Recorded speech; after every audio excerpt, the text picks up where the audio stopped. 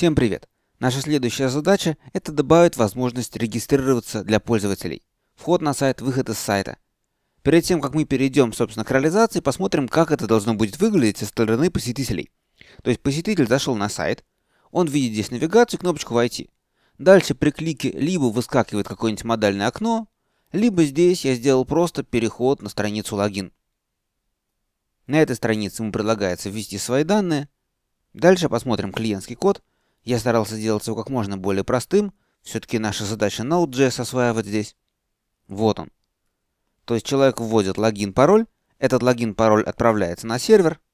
Дальше, в зависимости от ответа сервера, если 200, то отлично перенаправляем человека на сайт, например, на страницу чата. Если 403, то высвечивается ошибка. В данном примере страница регистрации будет объединена со страницей входа. То есть, если вводится новое имя посетителя, то такой посетитель регистрируется. Если вводится уже существующее имя, то проверяется пароль. После входа на сайт будет здесь появляться возможность выйти из сайта. Ну, не будем забегать вперед, а посмотрим на код. К этому выпуску я немножко переписал те роуты, которые были раньше. Теперь каждый get будет подключать соответствующий модуль и вызывать его метод get. Соответственно, корневая страница будет обрабатываться модулем FrontPage. Он очень простой. Вот такой. И аналогично остальные страницы. Логин, чат. Все они сейчас просто рендерят шаблон. Сами шаблоны тоже особо не изменились. FrontPage, чат. Простейшие шаблоны пока что. И шаблон логин, который содержит необходимый клиентский код, а серверный мы сейчас будем писать. Соответственно, первая задача – это сделать так, чтобы когда посетитель входит на страницу логин и забивает что-то в форме, то при посте на вот этот URL мы могли его авторизовать. Для этого создадим обработчик app.post. При посте на логин будем подключать пост этого модуля. Модуль вот. Experts Post. Первая наша задача – это получить данные, которые передал посетитель это username, которая будет в react.body.username. И password. Вообще, react.body это нестандартное свойство, но ранее мы подключали middleware body parser внутри app, вот он. И так как body parser подключен до роутера, то к моменту, когда роутер работает, body parser уже гарантированно прочитал все пост данные, разобрал их и записал поля формы в соответствующие свойства react.body. Далее для авторизации необходимо проверить, есть ли у нас такой посетитель. Для этого мы подключим модель user и поищем соответствующего посетителя в базе данных. Здесь я ищу, используя только имя пользователя, потому что по паролю я в базе данных не могу поискать. Как мы помним, пароль в базе данных не хранится, там хранится специальный хэш, а логика проверки пароля вынесена в модель user, вот она, check password. Соответственно, если user найден, Тогда, если у него верен пароль, то можно обработать успешную авторизацию. Если же пароль не верен, то это будет ошибка 403. Если юзер не найден, то можно было бы тоже ответить 403, но в этой реализации мы автоматически регистрируем нового юзера. Сохраняем его. Если в процессе возникла ошибка, тогда, значит, это вообще капитальная ошибка, мы с ней ничего не можем сделать. Return next error. Передаем ее экспрессу, пусть экспресс с ней дальше разбирается. Скорее всего, это будет 500. Ну а при успешном сохранении мы опять же обрабатываем 200, окей, успешная авторизация. Теперь посмотрим, как нам лучше организовать этот код. Здесь, где 200 окей, должна быть привязка этого посетителя, нового либо вот найденного, к текущей сессии. Это можно сделать вот так, session user равно user.id. То есть в сессии запомните его айдишник, так что при следующем заходе мы автоматически его получим. Кроме того, ответить 200, ну это просто. Мне, конечно, хотелось бы избежать дублирования кода, то есть не писать одни и те же операторы здесь и здесь. Поэтому мне, видимо, придется создать отдельную функцию для этого. Ну, или сделать что-то еще. Кроме того, в этом коде есть один недостаток важный. Если вы посмотрите на него внимательно, то вы его очень легко найдете. Это просто ошибка в коде. Посмотрите, нажмите на паузу, и мы продолжим. Нашли? Думаю, что да. Вот она. Ведь при любой такой асинхронной операции возможны ошибки. Их обязательно нужно перехватить. Если мы пишем код просто на колбеках, то очень легко просто забыть об этом. Самое неприятное в этой ситуации, что если мы все-таки забыли обработать ошибку, то остальной код как-то сработает. И что он в этом случае натворит, одному богу известно. Поэтому, вместо того, чтобы писать код вот так вот на простых колбеках, мы будем использовать библиотеку async. Она нам позволит, во-первых, лучше организовать вот эти вот кусочки, а во-вторых, снизит вероятность таких вот ошибок. Итак, я подключаю библиотеку async. Метод, который нам понадобится, называется waterfall. Он получает массив задач и выполняет их одну за другой. Первая функция всегда имеет только один аргумент, это callback. Callback генерируется async, и когда задача завершится, то она обязана вызвать callback. Callback с первым аргументом ошибкой, либо с дополнительными аргументами и результатами. Если ошибка есть, то сразу управление идет сюда. Если же ошибки нет, то вот эти вот аргументы передаются в следующую функцию. Ранее у нас был похожий метод async.series. В series эти аргументы не идут в следующую функцию, а запоминаются и потом в массив результатов попадают. В waterfall, напротив, результаты переходят из одной функции в другую. Отсюда вот сюда, отсюда вот сюда, отсюда вот сюда, в конечную функцию.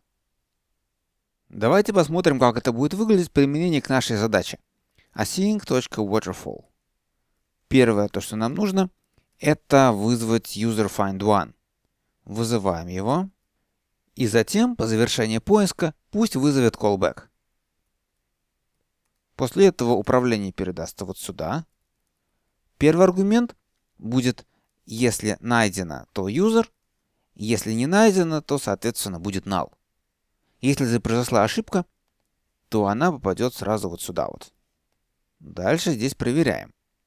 Если юзер найден, то отсюда прям берем, проверяем пароль. При успешной проверке передаем этого юзера дальше по цепочке, а при ошибке можно сразу же ответить, извините, ошибка 403.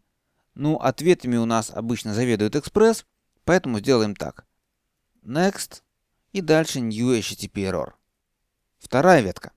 Если юзера нет, тогда создаем его. Отсюда тоже копируем. При успешной операции передаем этого юзера дальше. Ну а здесь, в конце, если была ошибка, то до свидания. А если ошибки не было, то, наконец, завершаем авторизацию. В сессию мы запишем ID этого юзера. Именно ID, потому что сам юзер это сложный объект, а сессия хранится в базе данных и ответим. Можно ответить вот так, главное статус 200. А можно отправить какой-нибудь объект. В некоторых других реализациях авторизации это может быть объект с информацией о пользователе.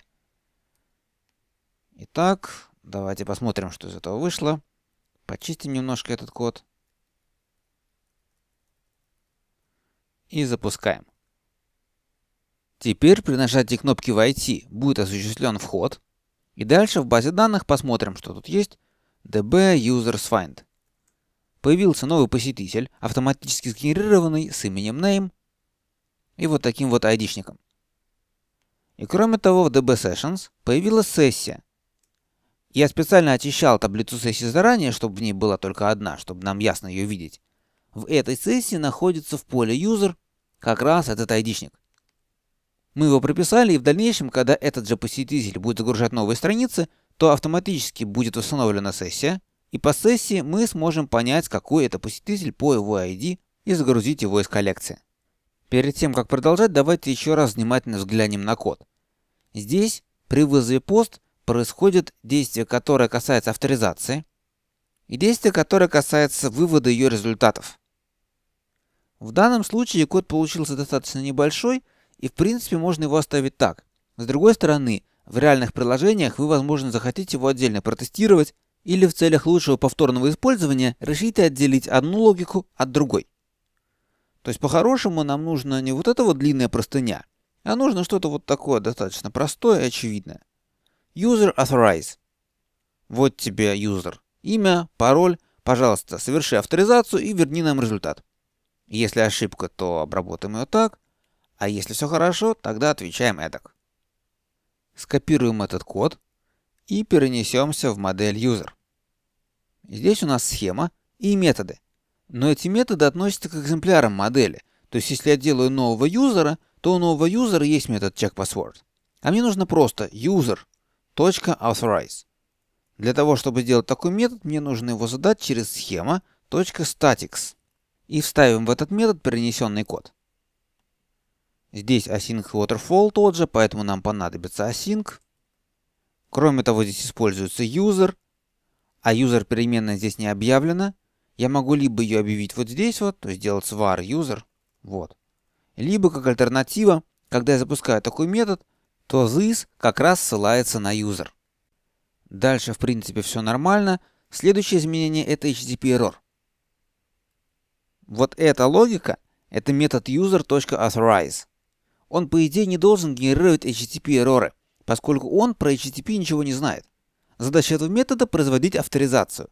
И ошибка, которую он может выдать, касается конкретной авторизации. Соответственно, как бы ее назвать? Ну, назовем ее auth и объявим прямо здесь же в этом модуле. Соответственно, мы делаем свою собственную ошибку по тому же образцу, как она была объявлена вот здесь. Берем вот это вот, можно прям скопировать и поменять название. Auth Error. Она будет более стандартная, просто обычный месседж, без статуса. Вот так. Соответственно, вместо next у нас везде callback будет. И, наконец, последнее изменение. Результат авторизации мы теперь не обрабатываем прямо здесь, а передаем его наружу во внешний callback. В зависимости от результата авторизации, если это ошибка и если это author, вот я импортировал выше, то это означает 403, отказ авторизации. Если же какая-то другая ошибка, то, как и раньше, передаем ее экспрессу. Скорее всего, это ошибка базы данных или что-то в этом роде. Это изменение структуры кода, безусловно, полезно, но оно не видно снаружи. Давайте сделаем что-нибудь, что будет визуально наглядно. Например, выведем ID посетителя при заходе вот сюда в чат. Для этого самый простой способ это просто передать переменную userID react user и вывести ее в шаблоне. Например, вот так. Давайте запустим, проверим. Ну вот. Все выводится, но, конечно же, мы не хотим вывести user ID. На самом деле мы хотим вывести полноценную информацию о юзере, ну хотя бы его имя знать нужно. Самый простой способ это сделать – это добавить необходимый функционал прямо сюда, в chat.js find by ID, как-то так. С другой стороны, объект user, вообще говоря, имеет достаточно глобальный смысл. Он может понадобиться на разных этапах обработки запроса, поэтому мы будем его вовсе не здесь устанавливать, а записывать в rec.user при помощи специального middleware и здесь просто использовать. Наш middleware будет называться loadUser. Он будет встраиваться в цепочку обработки запроса и загружать юзера непосредственно перед роутом. Вот так он может выглядеть. Если у нас юзера нет, тогда просто продолжаем выполнение. А если есть, то получаем, записываем в свойство rec и тоже идем дальше. Вставляем middleware app.js для того, чтобы он работал, ему нужно, чтобы уже была готова сессия. Поэтому обязательно после сессии и перед роутами. Но куда конкретно уже не так важно, например, сюда. Теперь вносим эту информацию в chat.ejs, запускаем. Ура, работает. Сейчас переменная user используется только в шаблоне чат. Но вообще говоря, каждый шаблон должен иметь доступ к этой переменной, хотя бы для того, чтобы здесь в навигации указать «выйти» вместо «войти». Соответственно, где у нас эта навигация? Она здесь, в Partials. Нужно ее изменить. Например, вот так. Вошедшим юзерам мы будем показывать ссылку на чат. Далее, если юзер вошел в сайт, то ему показывается ссылка «Выйти». Если же он не вошел, тогда «Войти». Здесь для того, чтобы выйти, я использую вот такой JavaScript код. Создается форма, которая динамически отправляется на логаут, Конечно же, в реальной жизни желательно так вот JavaScript в HTML не засовывать. Но здесь я это делаю потому, что стремлюсь как можно проще делать клиентский код. Все-таки цель этого скринкаста это именно Node.js, поэтому вот так вот для наглядности. В любом случае обратите внимание, что изменение состояния авторизации осуществляется методом POST. Ни в коем случае не GET. то есть не такая вот ссылка logout, потому что есть много подводных камней. Самое главное то, что даже стандарт HTTP говорит о том, что любые изменения состояния должны быть методом POST и аналогичными. Метод GET предназначен только для получения данных. Так что вот так вот сабмитим форму. Про вот этот вот action поговорим чуть позже. Сейчас некоторые изменения, которые сделают так, что переменная user станет доступна во всех шаблонах, в том числе и вот в этом вот partial. Сделать это очень просто. Есть специальное свойство res.locals. Все, что мы запишем в этот объект, будет доступно всем шаблонам. Вот так я записал. И теперь в chat.js я могу явным образом это не присваивать. Все равно все будет доступно. Итак, давайте я перезапущу. И посмотрим. О, выйти. Следующий этап это реализовать этот самый логаут в виде роута.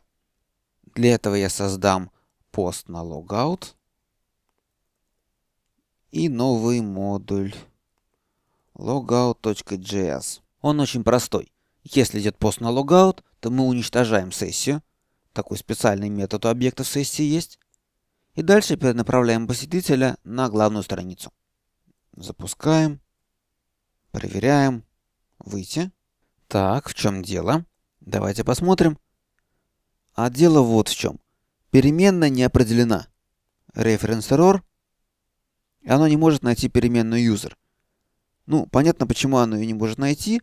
Если посмотреть здесь вот в наш load user, то в том случае, если человек вышел из сайта, то есть session user нету, то мы передаем управление дальше, при этом user вот сюда вот не попадает. Соответственно, нам всего лишь нужно сделать так, чтобы user всегда был, просто если посетитель не вошел, то user будет null. Так что давайте сделаем вот так вот. Перезапускаем. Проверяем еще раз. Ну вот. Вошел. Вышел. Итак, у нас есть авторизация, совмещенная с регистрацией, с удобным доступом к информации о посетителе в шаблонах.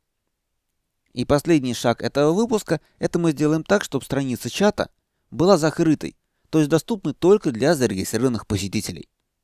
Самый простой способ – это, конечно же, вставить проверку на rec.user сюда, но вообще функционал закрытия страниц может нам понадобиться много где, поэтому давайте оформим его в виде middleware middleware будет называться checkout, и вот его код. В отличие от предыдущих middleware, о которых мы говорили, этот middleware нужно встроить не на уровне всех запросов, а на уровне конкретного роута. Это дает возможность сделать app.get. В любой роут можно вставить сколько угодно middleware. Например, вот так вот просто checkout. Теперь при заходе на чат будет вызвана проверка авторизации. И только если этот middleware передаст управление дальше, а не передаст вот так вот с ошибкой в обработчик ошибок, то вызовется get модуля чат. Запускаю. Проверяем. У меня сейчас не авторизованный посетитель. Ну-ка, чат. О, ошибка. В дальнейшем мы сможем использовать этот middleware в каких угодно роутах, которые нужно защитить. Итак, на этом основной функционал, связанный с авторизацией, завершен. Конечно же, его можно наворачивать, можно вставлять интеграцию со всякими gmail'ами, можно делать авторизацию, регистрацию отдельно и так далее. В частности, в Node.js есть отличные модули для этого. Например, модуль Passport.js. Вот так вот можно посмотреть. Который предоставляет как раз интеграцию со всякими Gmail, Facebook и так далее. При необходимости вы сможете с этим справиться самостоятельно, а мы пойдем дальше в следующих выпусках мы уже будем использовать ту авторизацию, которую сделали сейчас.